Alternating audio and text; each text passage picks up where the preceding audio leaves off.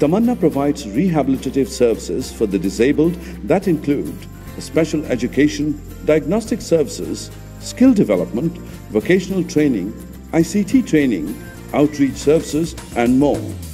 Through its various social media channels such as Facebook and Twitter, and digital marketing tools such as Google AdWord Grant, Tamana has been able to draw more attention to its crusade of improving the lives of special need people.